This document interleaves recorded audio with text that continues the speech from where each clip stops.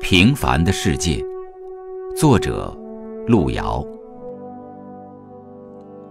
第三十七集，田福堂同时也对公社领导有意见，为什么不给这几个村的领导人做工作呢？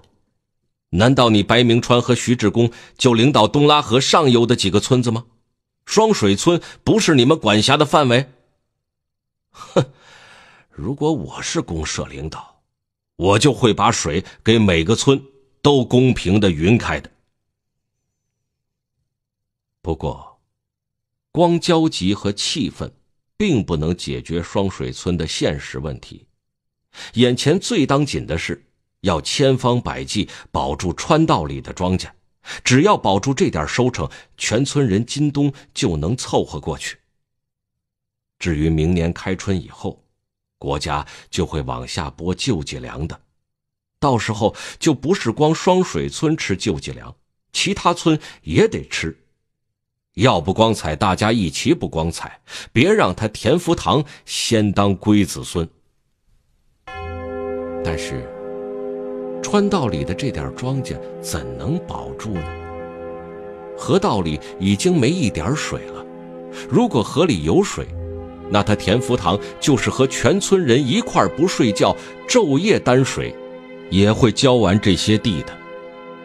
他焦急不安，他一筹莫展。他知道全村人都在等着看他怎么办。他也知道现在有人咒骂他，说他成了个窝囊蛋，让上游几个大队的领导人欺住了。玉婷已经给他汇报了村里谁在骂他。他现在内心并不抱怨这些骂他的村民，反而意识到，不论怎样，双水村的人在关键时候还只靠着他田福堂嘞。为什么不骂别人嘞？知道骂别人不顶事吗？众人骂他田福堂，是等着让他想办法嘞。大家还是把他田福堂当做一村之主嘛，骂就骂去。他现在先不管本村人如何骂他，而对上游几个村庄的领导人一肚子火气。他想，不能这样下去了。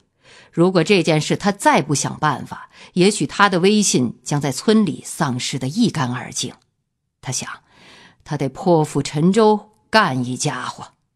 没办法，老天爷和东拉河上游几个村的领导人已经把他田福堂逼到一条绝路上了。他在脚地上转了一阵以后，天已经昏暗下来。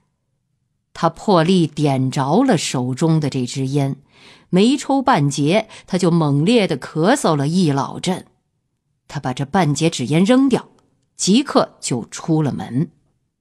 在田福堂出了自己院子的时候，他老婆撵出来说：“你还没吃饭嘞！”他只顾走，头也不回的说。饭先放着，我开个会，完了回来再吃。他先来到孙玉婷家，让玉婷立刻通知大小队干部，一吃完晚饭就到大队部来开会。他给玉婷布置完，就一个人先去了大队部。大队部在田家阁老这面的公路边上，一线三孔大石窑洞，两边两间堆放公物，中间一间就是会议室。院子里停放着大队的那辆带拖斗的大型拖拉机。田福堂身上带一把会议室门上的钥匙，他自个儿开了门，一股热气顿时扑面而来。他上了那个小土炕，把窗户打开，企图让外面的凉气儿进来一点但外面和窑里一样热。他解开小布褂的纽扣，袒胸露怀。盘腿坐在小炕桌前，把煤油灯点亮，等着队干部们的到来。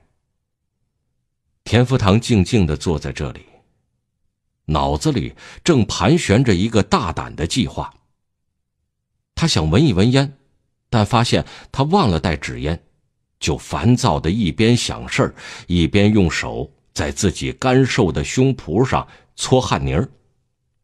不多一会儿，大小队干部。就先后来到了大队部，除过一队长孙少安出门在外，村里所有负点责的人都来了，大家似乎都意识到这会议的内容是什么，解决水的问题，但没有人抱什么希望。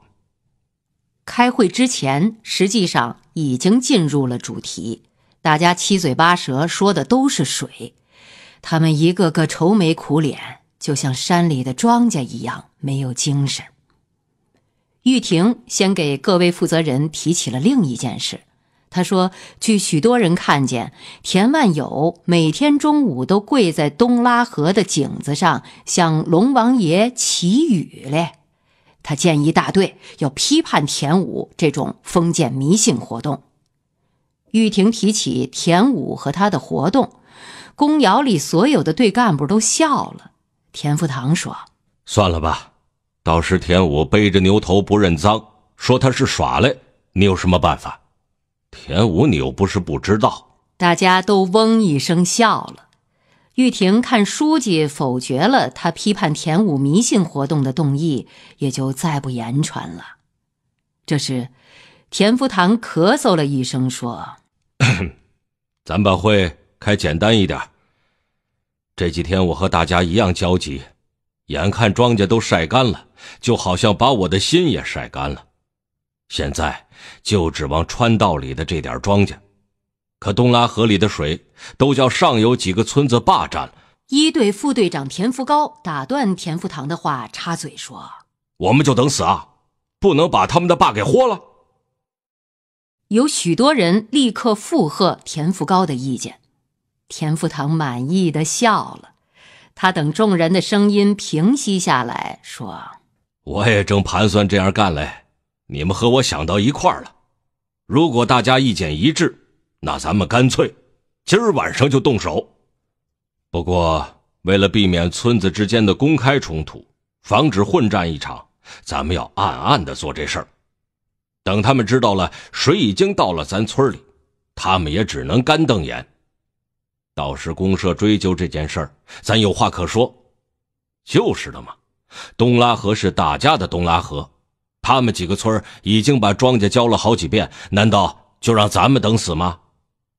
东拉河的水本来就有我们的一份，又不是他们几个村出钱买下来的。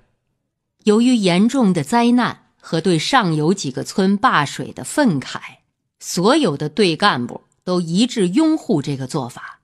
除此之外，危难中的双水村别无选择，连平时谨慎的金俊山也气势磅礴地说：“干就干，不能让人家这样欺负了。只要能救活川道里的庄稼，咱们担什么风险都不怕。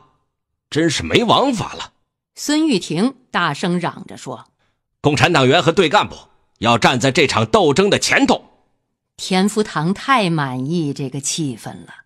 觉得他适时的把双水村这条大船的舵又牢牢的握在了手中，他兴奋地说：“要是大家再没什么意见，咱们就很快安排一下，马上行动。”这时，二队队长金俊武从后脚地的灶火疙瘩里转到炕桌前面来，他不慌不忙，用手把煤油灯罩拿起来，点着了一锅旱烟。他把玻璃灯罩又放到灯上，就开口说：“我同意大家的意见，不过在做这事儿的时候尽量周到一些。我们不敢把人家坝里的水都放完。下山村路太远，不要动这个村子的坝。要豁，就豁石阁节的坝，但只在石阁节的坝梁旁边开个口子。水放出来以后，就到了罐子村的坝里。”然后把罐子村的坝再豁开一个口子，把水放到咱们村里，这样咱们的问题解决了。他们两个村也还有水，就是他们发现了也不会有大问题。估计第二天天明，这两个村就会发现他们的坝上有了豁口，那他们自己就会堵住的。可这时，咱们的水已经有了。如果这样，咱们从石阁节坝上动手挖开豁口起。水就要流大半夜，那么咱们村现在那个坝又太小，怕盛不下这么多水，因此得分三股人马，一股去石阁节，人要多一些；一股去罐子村，人不要太多，其余所有的人在头两股人出发前就要加高咱们村的坝梁，这是最当紧的。最好动员全村男女老少都上手。金俊武不愧是双水村的精能人之一，他像总参谋长一样，把事情考虑的既周密又周到，使包括田福堂在内的所有人都惊讶的张开嘴巴听他头头是道的说完。等金俊武说完以后，田福堂接着说：“好，俊武说的周全。”咱们现在就按这办法分配人手。孙玉婷自告奋勇地说：“我带人去石阁节，为了行动快，干脆把拖拉机开上。一到地方，大家从车上跳下来就挖口子，然后跳上车就能往回跑。他石阁节的人就是发现了，也追不上咱们的人。”副书记金俊山插话说：“玉婷说的也有道理，万一被石阁节的人发现了，撵着打架，咱们去的人少，怕要吃亏。”田福堂说：“那就这样，玉婷，你先下去组织十几个硬帮人手，先睡一会儿觉。等咱村里开始加高坝梁的时候，你们再动身。啊，军武，你干脆给咱带两个人到罐子村的坝上去。”金俊武说：“可以。”田福堂扭过头对下炕脚抽烟的金俊山说：“俊山，你能不能带着人？”给咱加高前村头的坝梁啊！我晚上就蹲在这大队部，把全盘给咱照料上。行，那现在咱们就散会，赶快分头下去组织人。两个小队的负责人现在就把这情况通知到各家各户，让大家都上手。一队少安不在，福高，你就给咱负责上。